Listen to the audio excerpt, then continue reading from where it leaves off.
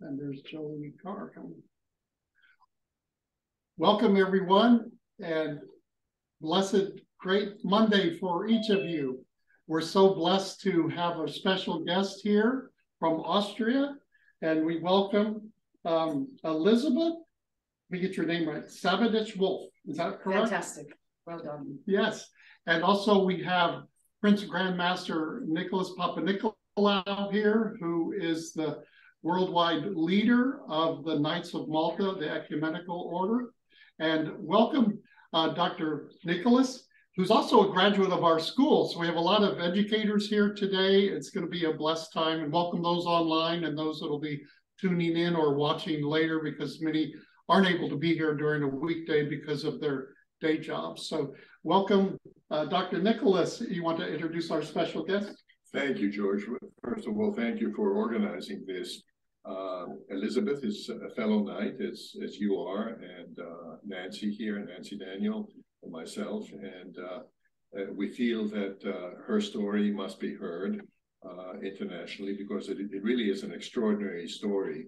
Um, it speaks to what happened with limitations on freedom of spe speech in Europe uh, and how dangerous that is, uh, where the rights to freedom of speech are basically being um, pushed aside by the crowd that uh, has invented a right uh, of, quote, not to be offended, uh, unquote, which has no constitutional basis in, in any of the constitutions of the European nations as it also has no basis in our constitution here in America. Uh, Elizabeth uh, is uh, the daughter of an Austrian diplomat. Uh, so she was raised in many countries. She happened to be in Iran when the Ayatollahs took over, and so she can speak from as a personal eyewitness to what happened to the rights of Christians there. She also spent time growing up in Baghdad um, and has really has you know traveled all over the place. Uh, um, her husband is a uh, colonel in the uh, Austrian army, a surgeon uh, who also headed up the uh, Allied hospital uh, in theaters of war, such as in Kosovo and in Mali. And so Elizabeth, in many ways, has been sort of on the forefront of uh, the the fight, the confrontation that we see in our world today between uh, uh, the forces of Christianity, the forces of uh, personal liberty, uh, the constitutional rights that we believe are the foundation of Western culture, and yet we live in an environment today where even here in America, those those constitutional rights are not only being challenged, they're actually being actively curtailed. So uh, I'm going to ask Elizabeth to share with us uh, a little bit of her story uh, and what happened in, both with her upbringing, but also more recently her experiences in Austria, which we all assume is a, a Western European nation with a liberal, uh, you know, uh, human rights uh, tradition, and yet she can speak from personal experience to to what happened to her. So, Elizabeth, uh, what I'm envisioning here, and, and I think George agrees, is you know you you take it away, you know, start to tell us your story, but mm-hmm. I hope you don't mind if we interrupt with questions, yeah, mm-hmm. to you know further explain or expose you know some of the experiences mm-hmm. that that you have. I want to say to our audience that uh, I have a personal admiration for Elizabeth because she is a fighter, and she is a fighter for these values which we hold dear and which many in the political leadership in Europe and now more recently in America tend to forget. And they tend to forget them to our detriment, to the detriment of the people. So take it away, Elizabeth. And as I say, if we interrupt you, either George or I, I hope you won't mind. Absolutely not. Thank you so much, Nicholas, for your wonderful introduction, and to you, George, for uh, making this possible. And let me also add that it's always been a dream of mine uh, to come to uh, both North Carolina and South Carolina. And I had been praying about this for a long time. And so I'm, I'm, I'm really happy We're to be so here. glad you're here. Thank, thank you, for thank sharing you. your time it's, with us. It's just, uh, uh, you know, thank you for making this uh, happen. Um, my life, you know, people have said to me, uh, when there's a crisis, you can be sure that Elizabeth is there. when history is made, you can be sure Elizabeth is there.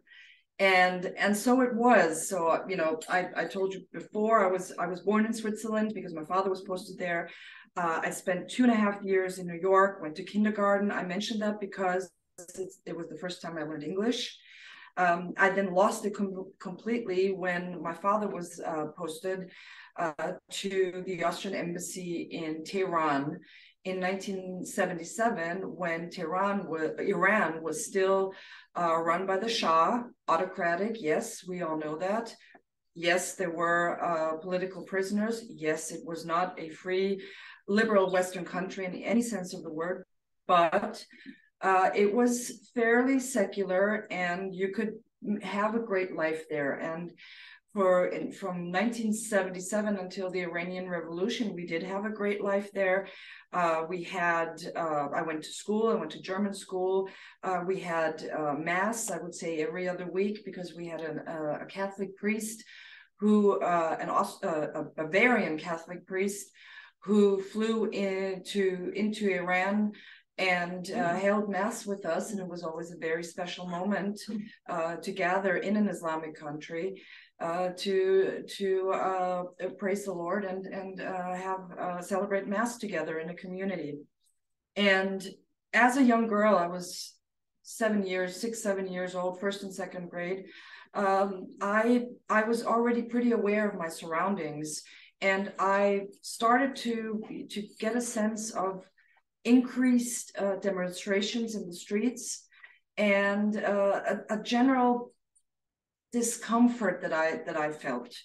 And so in late 1978, my mother, my sister, and I were expelled from Iran uh, by the uh, Iranian authorities because it had gotten too dangerous for us to remain. So my mother and my father were forcibly separated, and we returned to Austria only to be we were only able to return uh, to Iran to my dad uh, for school holidays. So this was a very challenging time for us as a family, and it must have been hell. And I know it was hell for my mother uh, to go through. So when we returned uh, during school vacations, it was so obvious the difference uh, to see. You know, it's a, a theo- it, it, turned into a theocratic uh, society. Women had to cover from head to toe which we of course didn't do. But it was it was already it was very difficult to navigate around Tehran. We were not allowed to leave the city anymore, and uh, there were food shortages. And when uh, the American embassy was taken over and the hostages, the American hostages were taken, my mother took it upon herself uh, to to uh, prepare food for the three hostages uh, held at the um, Iranian foreign ministry. So Bruce Laingen was one of the diplomats, and I can really recommend his his book. He has since passed away. I I really would have liked to you know gotten together with him before his death. Um, so and of course my mother had to uh, tell us kids, my, my sister and me, uh, you know, this food is not for you. This food is for the hostages in the in the um, in the foreign ministry. So that must have been really hard having to tell her own uh, daughters, you can't have all that food that's being hmm. prepared. So um, I experienced firsthand what happens when Islam takes over a formerly secular country, and I can as a child, I knew that it was to the detriment of the country and to society. And uh, I, I was scared. I was really scared at the time. Little did I know that this would make a huge impact on me uh, later in life. Um, I'm going to leave out quite a bit of that because I think you should you should you can actually read it in my book, which will I then which which I will then uh, show you later. Um, in 19, we returned to Austria. My dad was finally uh, transferred back to Austria in 1980.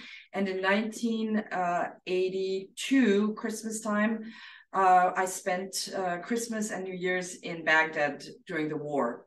And uh, there, what, what, what I remember specifically about that time was Christmas Mass uh, in the middle of a war zone in Baghdad. And uh, just the beauty of Mass uh, with fellow Christians in, in, a, in a challenging situation, but there was so there were so many happy faces and beautiful music. It was a different way to celebrate Mass back then, but uh, we were made uh, welcome, which is we were we felt very welcome, and that's one of the beautiful aspects about uh, fellowship in, in Christianity that you're always considered uh, family. And I, I I remember that I was 11 years old. It was a very special moment. So uh, fast forward 1983, we moved to Chicago, which is uh, the reason for my English. I mentioned Chicago, four years of Chicago, uh, because it was in eighth grade. I attended Sacred Heart School in Chicago, Sheridan Road. Um, I had to study, I was forced, actually, I have to word it this way. I was forced to study the Constitution, which at the time, of course, when you're 12 years old, you know, you're in a special time of your life. And I said to myself, why do I have to study the US Constitution? I should be studying my own Constitution. Well, that was not to be. So I uh, I wanted to graduate eighth grade. So I studied really, really hard. We had an excellent teacher uh, who prepared us well. And, you know, I marveled at the time that uh, this constitution is so easy to understand that even an eighth grader can can understand it. It's short, it's concise, it's to the point, and only later on in life would I realize that this is really the greatest political document ever written. Yes. It really, it really Mhm. is. Yes, it is. It is again short, concise. An eighth grader can understand it, um, and and the Bill of Rights and again, little did I know that the Bill of Rights would be so important later on in my life, uh, and that I look to America every time I'm in Europe and I cannot speak out as freely as I can right here um, to the First Amendment. Yeah. Uh, And, and just a little parenthesis, if I may, uh, for the benefit of our audience.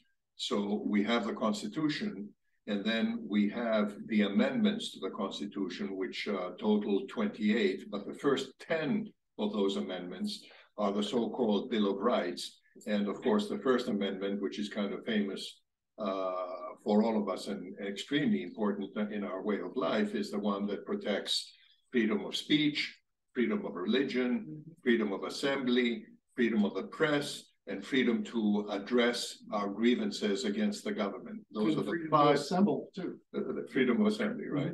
Uh, those are the five fundamental uh, rights that are given under the, the Bill of Rights and specifically the First Amendment. So I'm just saying this for the mhm, benefit Very of, important. of Yes, our audience. thank you. And Thank you. that was adopted in seventeen ninety-one. The main constitu- the Constitution was adopted in seventeen eighty-seven, but the, the Bill of Rights, which is the first ten amendments, were adopted uh, four years later. Okay, thank you very much, uh, Nicholas. Uh, uh, it's everybody, I believe everybody on this planet should uh, should be living under the first, you know, the the, the Bill of Rights, or uh, we, you know, if the if the entire planet, people on this earth believed and lived according to the Ten Commandments, this world would be a better place. You don't have to be a Christian but as, as long as you lived your life according to the Ten Commandments, I think we would all be better off. Uh, it's, this is my personal belief. So, uh, so 1987, so four years of my life spent in Chicago. And then we once again returned to Austria. I graduated uh, high school in Austria in 1989. And then came 1990 when once again Elizabeth was a part of history because I not only became a ski instructor, but of course there's very little skiing in the summer. So I was tasked and asked uh, to go to the Austrian embassy in Kuwait. Uh. Yes, exactly. Uh, so I arrived in, in Kuwait in May of 1990. I was 19 years old at the time. And uh, I was in the visa section, stamping visas at the time. Of course, there were no, there were still stamps. It was all very low technical standard. Um, but that's what I did for three months until uh, August 2nd, 1990, when I woke up in a war zone with helicopters flying above us and tanks rolling in the streets. Hmm. And uh, yeah, I couldn't leave the country. Uh, none of us could. And those who tried, many of them uh, perished in the desert. And that was the invasion of Iraq That was of Saddam Hussein. Saddam Who Hussein, tried to correct. conquer Kuwait and make it his own. Correct. But I also have to add, uh, in this case, aided by a, very weak uh, ambassador to the uh, American ambassador to Iraq, April Glaspie, who basically a few days before uh, the invasion gave an a tacit agreement, a tacit go ahead, saying to Saddam Hussein, "We we basically have no beef in your fight." Uh, with uh, Kuwait, and uh, Saddam Hussein then interpreted these words as the go ahead for the invasion. Um, I didn't really concern myself with the reason for the invasion. I just figured I needed to stay safe and try to, to make it back home.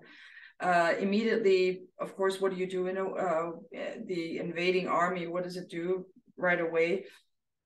It knocks out all the communication. So we, I wasn't able to communicate uh, with my parents. Um, only now that I am a mother can I understand what my mother must have gone through. Uh, not not being able to uh, talk with me, not knowing whether I was alive, whether I was being raped, uh, whether I had enough food just to sustain myself. Uh, she need she need not have worried because I was in good company. We in the embassy building. The Iraqis did accept uh, and respect uh, diplomatic uh, immunity and also diplomatic um, you know, when the embassy, the embassy is considered Austrian territory, so, so they actually left uh, the uh, embassy compounds alone for the time being. So long story short, because this is also detailed in my book, uh, a convoy of Austrian citizens made uh, their way across the desert. If you have your geography in mind, it's about 1,450 kilo 50 kilometers. I don't know what it is in miles. About thirty miles. Okay, Oh, Fourteen or fifteen, you said? 1,500. Oh, fifteen hundred 1,500. kilometers, so that's about nine hundred and fifty miles. Okay, well, you you figured that out, and uh, doing that in the in the in the summer heat, uh, in a flat desert, not aware or uh, about are the Americans going to attack? Are they going to take back? We didn't know at the time. There was no intelligence, and it's a flat desert. It's not one of these uh, you know Moroccan deserts or um, Saudi deserts where you have the beautiful sand dunes. It is just a, a flat rocky desert. Where do you hide? How do you go to the bathroom? How do you do that?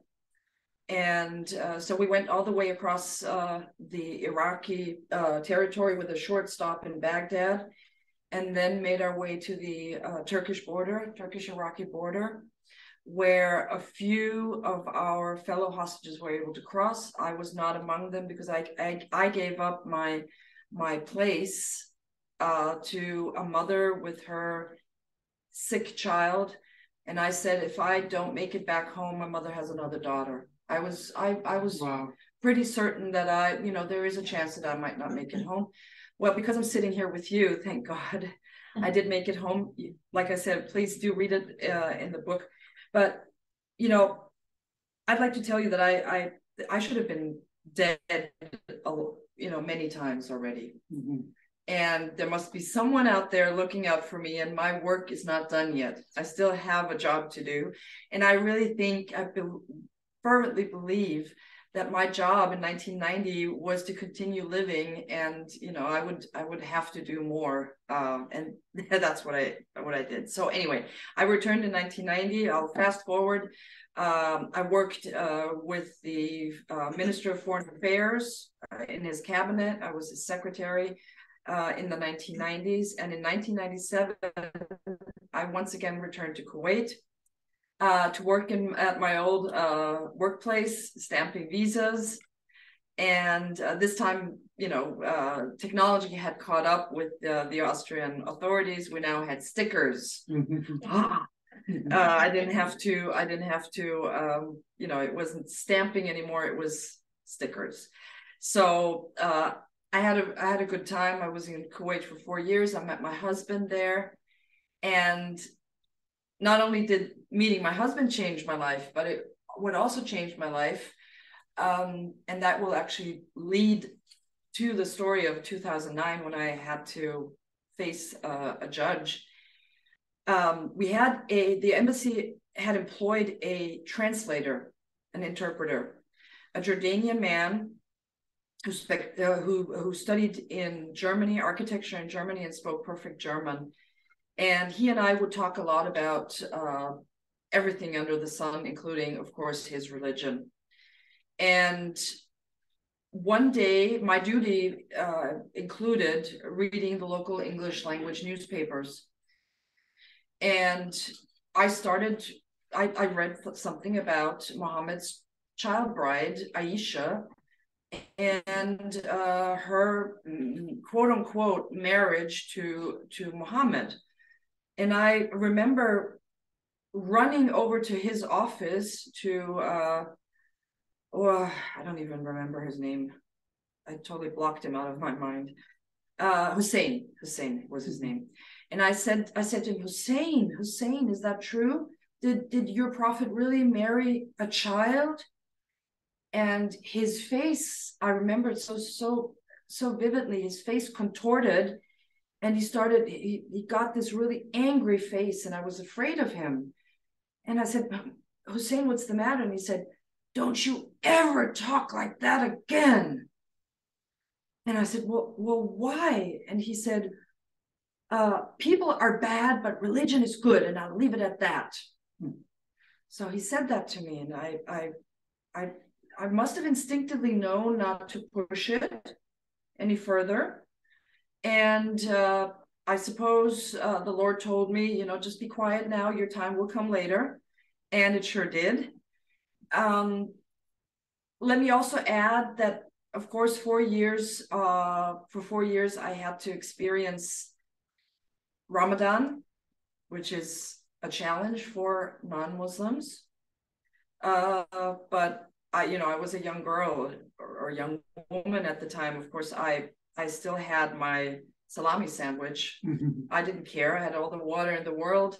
Um, uh, it wasn't meant to be disrespectful. It was what I did was I rebelled against these rules, which I think are stupid. And uh, they were rules. I, I didn't consider them a, a, a divine rule. They were just rules imposed on people for no real reason so anyway, uh, I left Kuwait in 2000. I got married uh, to my husband in 2000, and uh, I moved on to Libya. I apparently hadn't gotten enough of Islam yet. and uh, I moved to Libya while my husband finished his medical degree in Vienna, and the flying time between uh, Vienna and Tripoli was only about an hour and a half. So my my husband could actually travel back and forth to visit me uh, without going into much detail, uh, which again you can read in the book, uh, the, that one year in Libya was probably the hardest life, year in my entire life. I don't. I think it even topped all those years when I fought my uh, my case uh, in in the courts. Um, it was Libya was a really hard to hard place. You needed a lot of faith and a lot of uh, strength in in to to to survive Libya. Again, I will uh, detail I detail that in in the book. So 2001. Oh, by the way, uh, 9/11. Guess where I was? Libya. I was not in New York. I was in Libya. And my Libyan landlord stormed into my apartment on 9 11 and started screaming, The Jews did it! The Jews did it! And I said to him, I don't really believe so. Um, it was certainly not the Jews. And I asked him to, I don't know why he even was, why he was even able to enter my apartment. And I asked him to please leave and uh, not come back.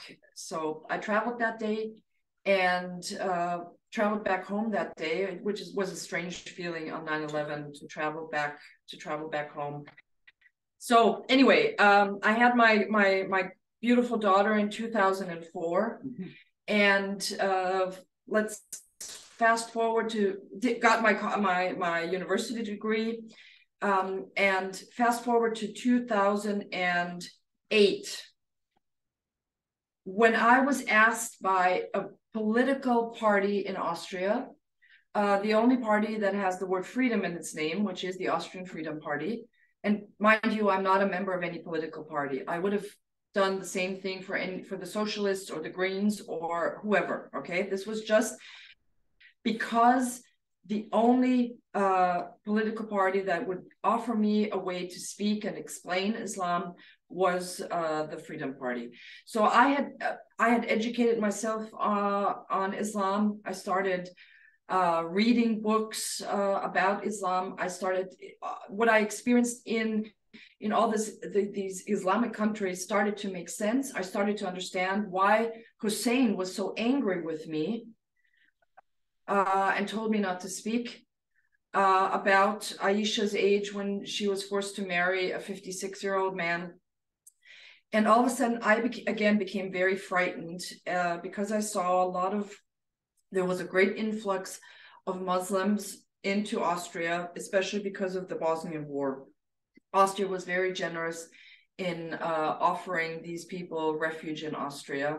And again i have to say to the detriment of the country um, and i felt that i needed to speak out that uh, this ideology is not compatible with uh, with either the Constitution or Western civilization, Western liberal democracy. And having studied the the Quran and uh, the the Sunnah, the words and deeds of the Prophet Muhammad, I came to the conclusion that we are indeed in trouble as a society. Mm-hmm. And uh, so I, I put together a PowerPoint presentation uh, lasting about 12 hours so three days, four hours each, fully sourced.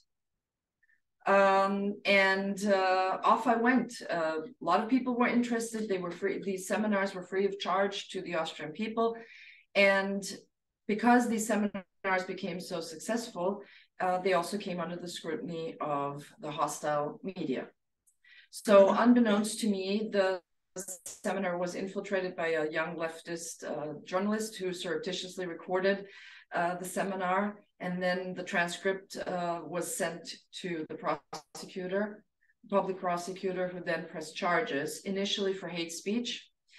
Um, a year passed, and then um, I faced the judge, who was a woman a little, a little parenthesis, if I may. Yes. So the, the proximate cause for the charges at the time, and please correct me if I'm wrong, was that you had said that uh, uh, talking about Muhammad, who married Aisha when she was six, and then by his own admission, quote unquote, consummated the marriage when she was nine.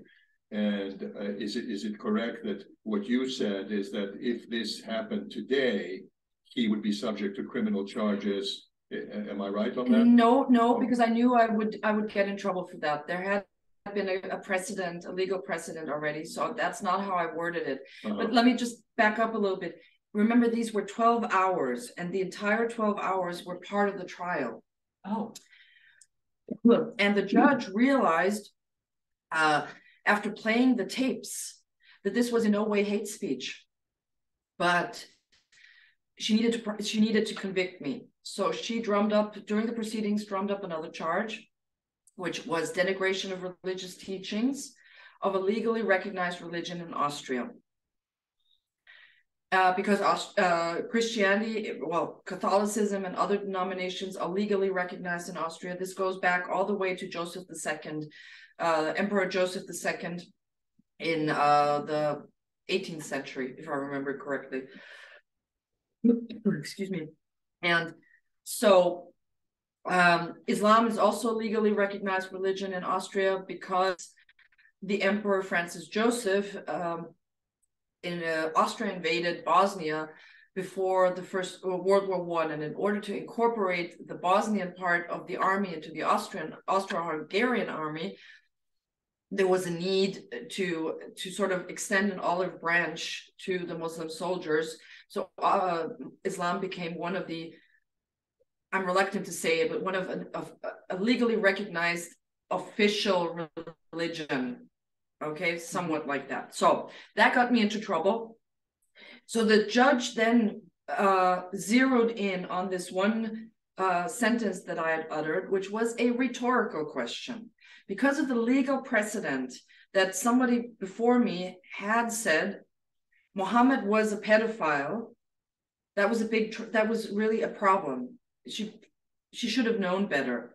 Uh, I disagree with the ruling, but you should have, this lady should have known better. So because of the legal precedent, I said to my uh, students, to my listeners, we have to find a word to describe the behavior of the Prophet Muhammad. And how does one describe the behavior of uh, Muhammad in marrying a six year old and consummating the marriage? Uh, the, yes, the marriage when she was nine. What do we call it if not pedophilia? Mm-hmm. Now, the judge purposely, on purpose, misunderstood me. I didn't say Mohammed was a pedophile. Right.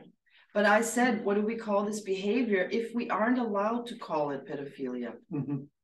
So her argument, her reasoning when she, when the judgment came down was, we can't call him a pedophile because he he might have married her when she was six and consummated the marriage when she was nine, but she stayed with him until his death, which was when she was eighteen. So it's not pedophilia. Golly.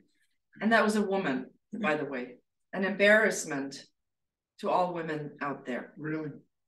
So um, I was devastated, of course, uh, but appealed the case. And uh, a few days before Christmas, uh, 2011, the appeal was uh, rejected. Uh, for uh, and the judges said the appeal is rejected because your while it may be true that he the ju- the, the court actually said it's true what what what happened as if they know how do they know it's a historical fact but they accepted that uh, muhammad married her when she was six and consummated the marriage when she was nine as a historical fact now while that fact it might be historically true what you said is an excess of opinion Wrap your heads around that. Wow. An excess of opinion. So I lost the appeal, and I then uh, uh, went to the Austrian Supreme Court. I fought the char- I fought the um, the verdict there. Of course, I lost all the way to the Supreme Court, but the loss at the Supreme Court opened the door to taking the case to before the European Court of Human Rights, which is a supranational court uh, of the Council of Europe. It's not a European Union court. The problem is that the Council of Europe includes freedom loving nations like uh, Turkey and Azerbaijan. And uh, if you're unlucky, you'll get a judge from Azerbaijan, and we all know where, where this would lead. So uh, I waited for many, many years, uh, from 2012 until 2017 for the case to be heard. It was accepted. The case was accepted. That took a few years to to uh, accomplish. That was already a big success. My lawyer was quite hopeful that I would actually uh, win because the European Court has traditionally been very friendly and pro uh, freedom of speech. Well, uh, let me tell you, a few uh, days before my mother passed away in October 2018, uh, I received inf- uh, notice that no, I lost again at the European Court of Human Rights with uh, the reasoning by the judges given that my right to free speech weighs less than a Muslim's right not to be offended. Terrible just wrap your heads around it. It is it is just unbelievable. And the the the tragedy here is that this ruling has already caused at least two uh, other people, one in Algeria, I, I, don't recall where the other one was, to, to be convicted on this, uh, you know. With the same principle. With, yes. Legal principle. With the, thank you, with the same legal principle, um, because I lost at the uh, at the European Court of Human Rights. So this is this is very tragic uh, for me personally, very very very tragic. Um, it's taken uh, a lot of reflection and prayer for me to to uh, not to give up uh, because you know this was a 10 year fight. It wasn't easy. And it must have been expensive too. It was extremely expensive but i can i can tell you uh, that i am very blessed to know great people here in the united states. And um, i would say about 85 to 90 percent of uh, donations came from the, from the United States because I know that the American people are extremely generous, and you understand better than anyone how important it is to have freedom of speech. Mm-hmm.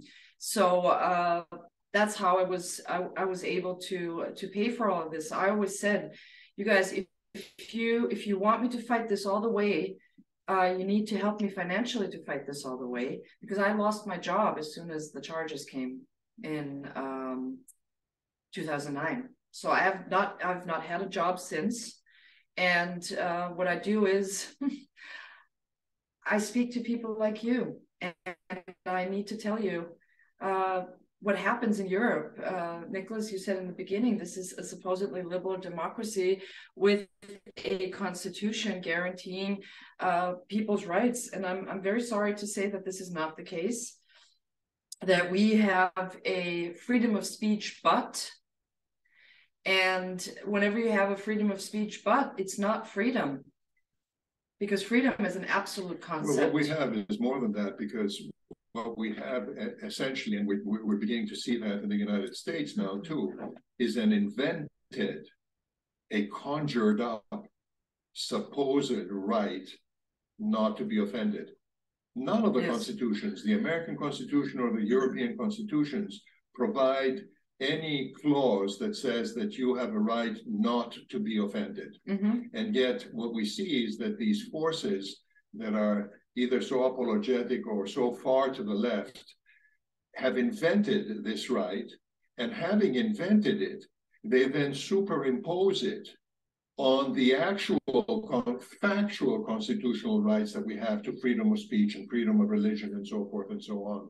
Now, the track record in America has not been uh, has been stronger. It hasn't been as bad as as it is in Europe, but we're seeing these same principles and this invented right of not to be offended being inserted here. And I must say that actually at the United Nations level, we see that too, because the, the UN Human Rights Commission, when Hillary Clinton was Secretary of State, adopted resolution 16 stroke 19 18 18. 18, right? Yeah, which which uh, uh, uh, upholds this supposed right not to be offended.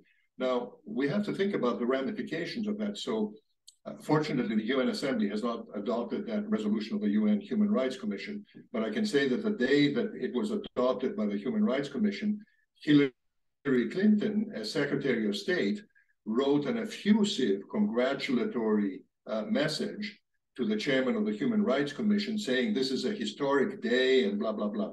But when you actually think of the nuts and bolts of this, the ramifications of it, what it means mm-hmm. is that if, for example, you happen to be speaking with uh, a Muslim and you say that you believe in Jesus Christ and he finds that offensive, you are guilty of hate speech. I mean, it's turning everything upside down on its head. Mm-hmm. All logic, all precedent, and yet European societies have allowed this uh, to happen. Uh, possibly only with the exception of Great Britain, which decided to withdraw from uh, from uh, the you know the European Union, but still they have their problems too because they've allowed so many cases on British sovereign soil to be adjudicated according to Sharia law instead of uh, British law. Mm-hmm. Uh, so anyway, mm-hmm. pardon the interruption, but no, I, I, I want to highlight very... for our audience this invented right of not to be offended, which has no basis in fact. And no constitutional basis. No, no, none, none at all. And we need to, we need to stop it. And I, you know, I see that, that your rights over, over here in America are, are being attacked too. And that's why I've made it my life mission to come to America as, as often as I, as I can to remind you that yes, the situation here is, is not as you want it to be, but it's up to you as Americans individually to do your part in upholding the Constitution, in fighting for your rights. And remember one thing, yes, the situation is is a difficult one. I get it, I see it, I I I'm I'm sad for you. It breaks my heart to see what this country is actually going through. But we Europeans, we freedom loving Europeans, we look to you because you are the last bastion of freedom. You still have the Constitution. Yes, it is under attack, but it is your duty because it is in your DNA to uphold the Constitution and to defend freedom. Because remember one thing after America, there's no place to go. Imagine if you Americans fall and America falls, where do refugees go? Where do you where do where do all these people go? There's no place on this planet where freedom loving people can emigrate to and make this great nation an even greater nation. This, you know, I I can only really implore that you defend the Constitution. Remember one thing despite all that you are experiencing and seeing right now, because I know that the current administration is a very problematic one, a very, very troubling one, but you still have the freedom to defend freedom. Amen. Thank you so much, Elizabeth. It's so um, urgently timely that you are here with this message to help wake up Americans before it's too late, before we lose our freedoms and our constitutional rights that uh, our forefathers were inspired really by the Spirit of the Lord to put that on paper and make that the law of the land. Um, the threat of Islam has been uh, insidious in infiltrating the United Nations, the European Union, uh, many nations, even playing into the hands of, of the CCP party.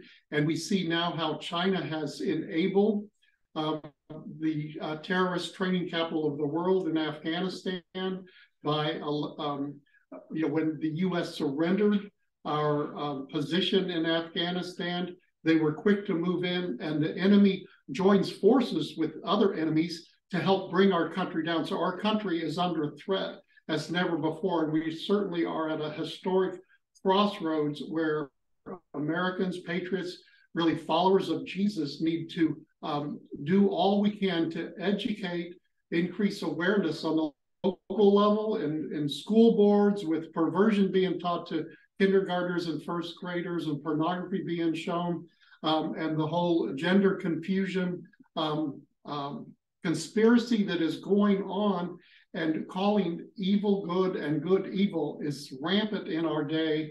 And so I pray that you will share this video that you'll buy Elizabeth's book. Let's hold up your book, Elizabeth.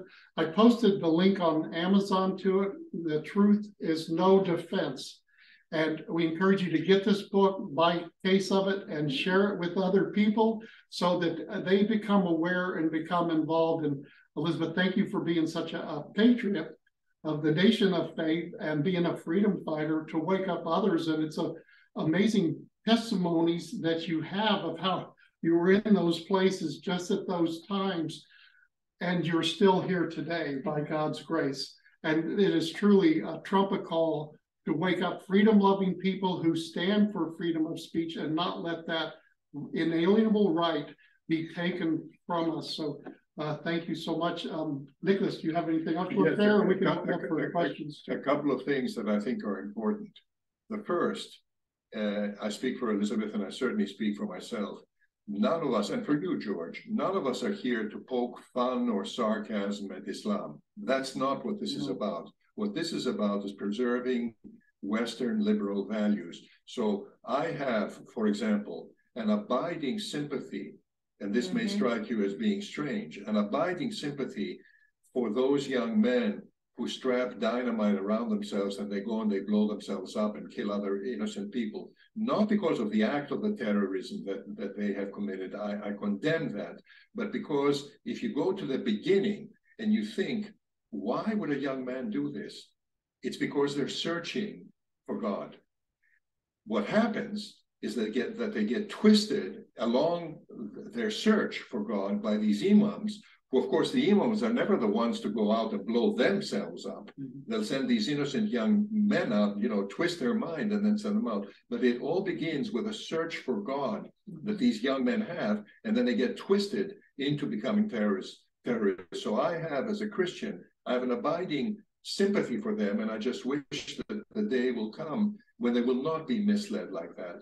And the second thing that I want to say is that. Um, you know, many times here in America, when you say something about Islam, the standard answer that you get from a, a, certain group of people is, well, we have freedom of religion in America, so therefore they can do whatever they want. If they want to marry a young underage girl, that's okay. If they want to kill a homosexual, it's okay because that's what the Quran says, and so forth and so on. Well, that's not true. Because our Constitution is very clear in granting freedom of religion but there, there have been a series of cases, landmark cases, that have come out of the United States Supreme Court over the years, uh, the life of our republic here. The first landmark case being in 1878, and the case was called Reynolds versus the United States. Uh, what's the background? Reynolds was a high official in the Mormon church. And the Mormon church, as our audience probably knows, preaches bigamy and polygamy. So he was married. He was a higher official official in the Mormon church, and he goes out on purpose and marries a second wife while he's married to his first. And of course, he gets sued by the local district attorney. In his defense, he pleads freedom of religion. And he says, uh, I'm a member of the Mormon church. This is my religion. The Constitution guarantees freedom of religion, and I've done nothing wrong. What did the United States Supreme Court do? In effect, and I'm paraphrasing slightly, it said, Your freedom of religion ends where our common laws begin. Yes. We have common laws against bigamy and polygamy. You violated them, so you are no longer covered by the protections of freedom of religion. Mm-hmm. And he went to jail. Mm-hmm. Our audience would be interested to know that the most recent case out of the United States Supreme Court reaffirming this, this legal principle is in 1987, fairly recent. And it is a case called Smith versus um, State of Oregon Unemployment Agency. What is the background there? Smith and his buddy were uh, constantly stoned on peyote. And they were working for a company and they were dismissed because they were constantly stoned. So when they were dismissed, they applied to, they lived in Oregon, they applied to the Oregon State Unemployment Agency for benefits and they were denied. The Oregon, and this is a liberal state, the Oregon State Unemployment Agency said you're not entitled to um, uh, to compensation to unemployment benefits because you caused with your behavior you caused yourselves to be fired. So they defending themselves claimed in court, well, we are members of the Native American Church, which preaches the consumption of peyote. So freedom of religion, we did nothing wrong. And the case came to the United States Supreme Court. Mm-hmm. Well, what do you think the United States Supreme Court did? It said, oh no, no. Your peyote is a prescribed substance in the state of Oregon. You're not entitled to consume it without a doctor's prescription. So you're not entitled to consume it just because that's your religious belief. Mm-hmm. the fact that you didn't have a prescription from your doctor prescribing this to you for some health reason means that were out on your own. You're not protected by freedom of religion. You were correctly fired, and the state unemployment agency correctly denied you the rights That's to good. unemployment benefits. Mm-hmm. So what I'm trying to say is that we have in American jurisprudence a stream of cases that begin in 1878 and come all the way to 1987, which have always affirmed the same principle that there are, in fact, limitations to freedom of religion when the teachings and practices of a particular religion violate our common laws. Mm-hmm. So that is an important thing. That's a solid point. for our, our We audience to see keep in in, in the United Kingdom, you know, the establishment of Sharia courts in many places in England. And America needs to prevent um, that from happening in this country. I think in Michigan, they're trying to advance um, in Detroit, which is a heavily Muslim uh, population, uh, Sharia courts, but that needs to be prevented.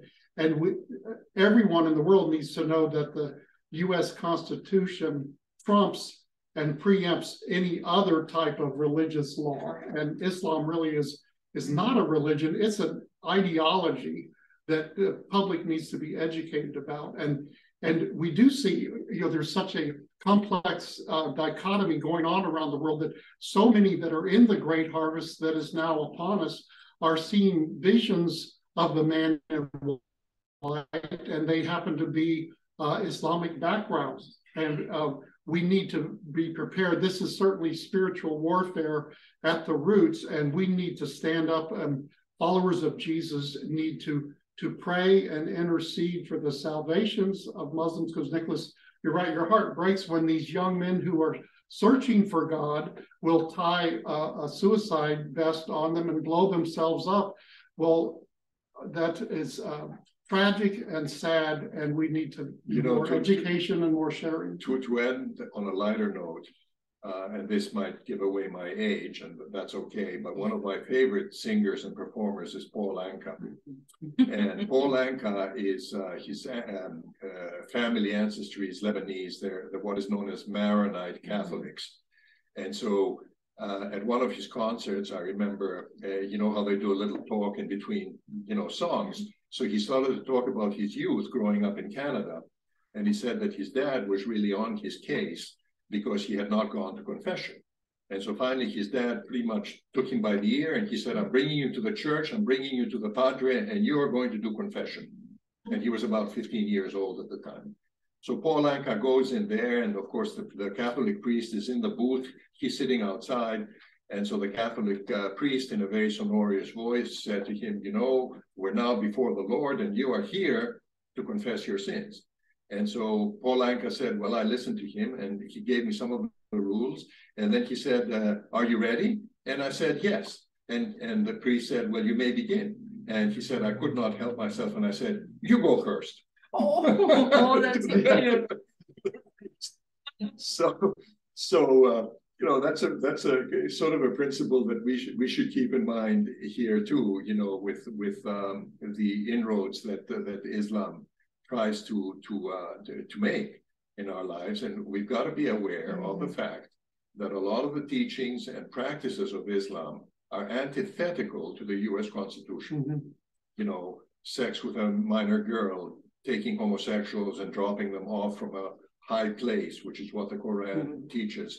Um, the fact that uh, a wife in marriage is property because her husband has paid his wife's father money to actually purchase her. So Mhm. she's property. She doesn't really have rights. Um, uh, killing the infidel.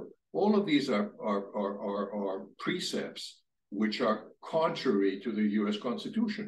Really, So, it's so true. they cannot stand in America, and we must be ever vigilant about that and say, no, you know, you can practice your religion so long as you don't violate any of our common laws, which is the principle, I repeat, that the United States Supreme Court throughout the history of our republic, republic has imposed, all Mm-hmm. the way to as recently as 1987. Elizabeth, I have a question.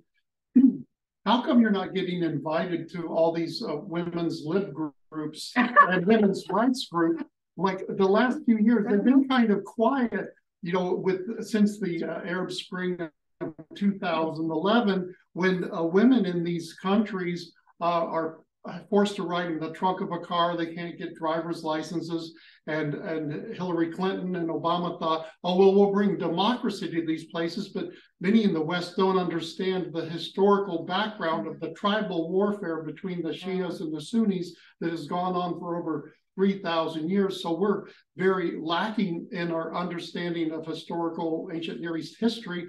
But where, where's the women's groups asking you to speak up on the behalf of women who are being denied rights uh, because they're in Islamic families? Um, first of all, your guess is as good as mine. Second of all, maybe I, maybe one reason is that I'm holding up a mirror and they don't like what they see. And that's why they're not inviting me. Um, yeah, I like I said in the beginning, I would love to speak to anyone. It doesn't have to be uh, groups on the political right, because I always say, you know, women's rights, uh, universal human rights, the Bill of Rights, uh, they are nonpartisan. Mm-hmm. It, and it concerns, you know, these rights concern everyone, every woman out there. Mm-hmm. Uh, how they don't, you know, they should actually be standing in line to to book me, uh, but they don't, and I'm. It doesn't surprise me. Uh, I think it's it's sad, uh, but I don't think. I think they're not doing it because they're afraid of what I would tell them. Wow. Let's open up for questions. We just have a few minutes. Nancy, you had a question. Go ahead and ask yours. Well, a couple, but um, you, you know, you talked about uh, that you lost the court case. First of all, what does that mean to lose? What happens to you on that regard? Mm -hmm. um, I had to pay a fine, which uh, was 120 day fines, depending on your income. Uh, it was one third of the maximum sentence. And uh, for me, it was 480 euros, which today is approximately the same. Uh, but please don't be fooled. 480 euros uh, is four euro per day day fine. So if your income is higher, it could go up to 200 or 300 euros a day. And you do the math 120 times 300 is a lot of money. Mm-hmm. So, because I, you know, in this case, I'm lucky that I lost my job because it was only 480 euros because you didn't have the income, I and didn't have- therefore the fine was based on your lack of income. And the court now recognizes that I have no, no income, so, you know, Oh, okay, so the, the lack, so if they're saying it's, it's a, they're basing it on offense, then cannot Christians say that they're offended by pedophilia or by? no, you can't. I'm sorry. That, that is not covered because you're a Christian. But we are offended by the, the disgusting. You might be that, but the court doesn't recognize that. It's, it's only Islam that is offended. And what happened is uh, that the courts in the Western world have succumbed to Sharia law, essentially. Yeah. That is the problem here. And of course, we all know that Christianity has never been really protected. So you can mock uh, the cross, you can mock Jesus, you can mock, mock Mary, uh, you can do anything you want with Christianity. And, uh, you know, it is, isn't it the proverbial cross that we're all carrying? Yeah, mm-hmm. yeah. And that's our duty. Wow. No, that's good. That's good. Mm-hmm. Any other questions from the audience? Feel free to unmute. Is everybody shocked by what they heard? Yes. It's hard to digest. It is. How is your daughter and your husband through all this? How are they? Um, my husband was and is extremely supportive uh, perhaps because he doesn't really have a choice. He, uh, no, he really believes in what I say and he agrees 100%. Uh, it was, I have to admit, it was a very difficult, challenging time for us as a family. Also, my mother was very uncomfortable. Of course, she didn't like seeing her daughter uh, in front of a judge. Um, so it was it was very rough on her. My daughter thankfully was uh, in primary school at the time and i was always open with her as much as possible and as, as much as she would understand and i always said to her look uh, when i drove her to school i said look ella uh, one of these your mommy is doing something very important i cannot tell you all the details right now but i promise you when you're old enough to understand i will explain everything to you. She's now 18 uh, she understands most of it uh, and and you know this is just something that she's learned to live with that her mom is is different. And because she's also different as in she's a highly gifted uh, girl uh, we get along just fine.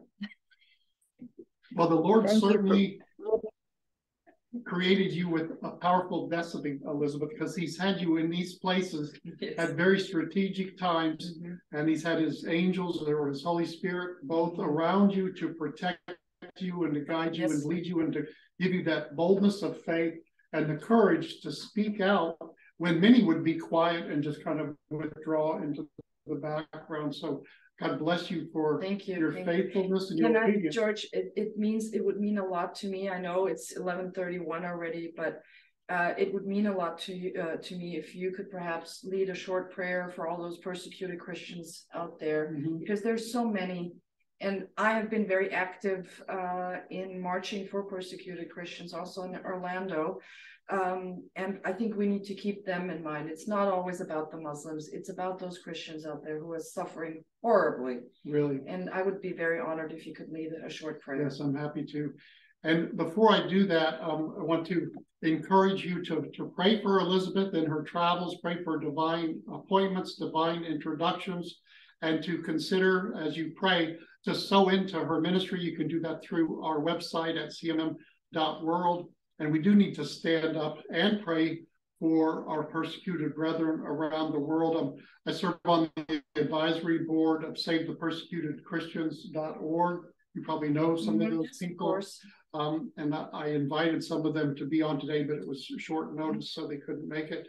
But, uh, you know, before, um, the pandemic in twenty nineteen, there was like two hundred and fifty or sixty million Christians around the world facing threats and severe persecution. During the last three years, that has increased to over 370 million, a huge percentage increase in just three years' time. And we know that there, uh, the Antichrist spirit is rampant, but we know that as the darkness increases across the earth, as the waters cover the sea, that the glory on God's people will continue to shine brighter and brighter. And so we will not back down, we will not compromise, we will not cower before the in- intimidation of the bully spirit of all of these Goliaths that are around us. And we'll just be like David of who is this uncircumcised Philistine that would come against the army of the living God. And so, uh, Father God, uh, let's gather around, just raise your hands to Elizabeth. Lord, we thank you for her heart, for her passion, for her commitment to battle the enemies of the cross. And Lord, right now we pray for our persecuted brethren, Lord, according to Hebrews uh, 13, 3, remember our brethren in chains around the world. Lord, we pray for Nigeria right now that's dealing with the uh, more election fraud. It seems like they were schooled by uh, U.S. Uh, uh, fraudulent uh, criminals, Lord, on how to, to steal an election. And Father, we just pray for those in, in many countries, in closed nations. Many are, are part of the family of CMM. Some are even students in our CMM College of Theology. And Lord, we we lift up the masses, the millions that are are wanting to live godly lives, to provide for their families, to enjoy and to worship you, Lord. And Father, we just thank you for a holy hedge of protection around them, Lord, in any land, even those facing persecution here in America and Canada and the West and those in the eastern part of the world, Lord, in the north and southern hemisphere. We just pray for uh, those that you would call and woo into your spirit. For Father, the uh, harvest is white unto harvest, the fields are white, and Lord, the laborers are few. Lord, send forth the laborers, Father, that we can see this greatest harvest in all of history, even during the time of the largest mass migration in the world's history, as people are hungry to know the Lord, hungry to feel the Father's love. And Lord, send forth the laborers and Lord, strengthen your people in your ecclesia and your remnant around the world, that the body of Christ would come together as we read in John 17, that we would be one as Jesus and the Father are one. And just bless dear Elizabeth, bless her husband and her daughter and her ministry. Lord, and we pray for all her books to sell out as she writes the next book. Lord, as a freedom fighter, as a pillar of your light and your truth and holiness across the earth. And we just thank you for uh, sending her to us and sending her into the world and preserving her life, Lord, for her purposes and destiny to be fulfilled. Lord, you are always faithful to complete the good work that you started in Elizabeth and each of us, Father. We live for you and we just uh, consecrate our lives to you, Lord, that we be holy as you are holy in every way. In Jesus' name, amen. Thank you so much.